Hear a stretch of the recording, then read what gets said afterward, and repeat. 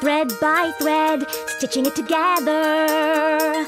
Twilight's dress, cutting out the pattern snip by snip, making sure the fabric falls nicely. It's the perfect color and so hip. Always gotta keep in mind my pacing, making sure the clothes correctly facing. I'm stitching Twilight's